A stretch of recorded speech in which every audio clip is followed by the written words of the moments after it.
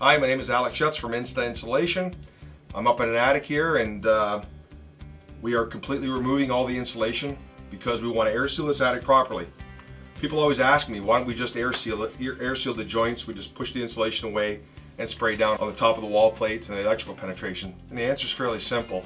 Um, you know, effectively, you can do it effectively, probably half the attic very easily by doing it that way. The problem is where you need the most insulation, out in the soffit area, um, it's very difficult to get to. Um, you can send the best of guys in there and rolling around an itchy insulation, um, you know, trying to get somebody into that soffit area is very, very difficult the best of times. So my belief is if you want the job done right, do the whole attic deck. Suck it all out, spray foam the entire attic deck, and that way we can have our, our field managers check out the job, make sure it's totally sealed. Homeowners, contractors can go in the into the attic, take a look to make sure the job's done right. When somebody promises you to go into an attic, push the insulation away, air seal it, think twice.